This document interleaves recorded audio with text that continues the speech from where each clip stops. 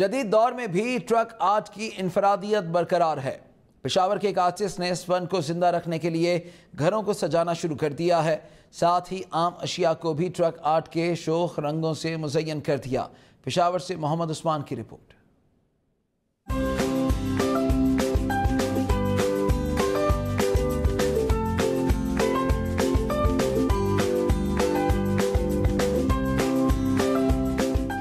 बुलंदोबाला पहाड़, बहती आबशार और गहरे बादलों को घर में शोख और गहरे रंगों से ट्रक आर्ट के ज़रिए कैद करना कोई सियार खान से सीखे। रवायती शोख रंगों से बनाए गए ये शाहकार हर आँख को भाते हैं।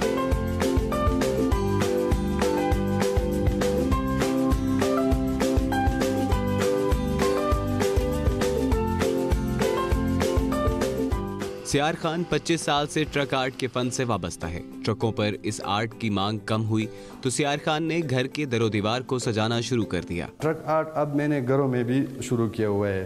लैंडस्केप वगैरह बना देता हूँ उसके जो उधर घरों में पेलर होते हैं उस पेलर पे ट्रक आर्ट का काम करता हूँ और बहुत बारीकी से करता हूँ इसलिए वो लोग पसंद करते हैं अभी। मुनफरद आर्ट से अब ट्रक और दरो दीवार ही नहीं बर्तन जूते और दीगर अशिया भी आरास्ता हो रही हैं। जितने भी बर्तन और ये ग्लास जग फ़ैन पंखा और रेशका वगैरह, हर चीज़ पे पेंटिंग करता हूँ, उसका, उस चीज़ में ज़्यादा अभी, उसका काम ज़्यादा आ रहा है सामने।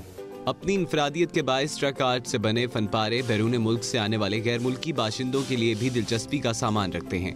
यही वजह है ट्रक आर्ट को बैरून ममालिक भी मकबूलियत हासिल है। मोहम्मद उस्मान, हम न्यूज़, पिशावर।